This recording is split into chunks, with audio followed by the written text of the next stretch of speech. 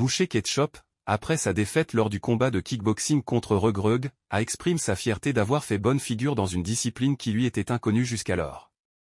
Malgré sa défaite par KO en moins de 3 minutes, il a révélé avoir remporté une somme importante, soit 30 millions de francs CFA.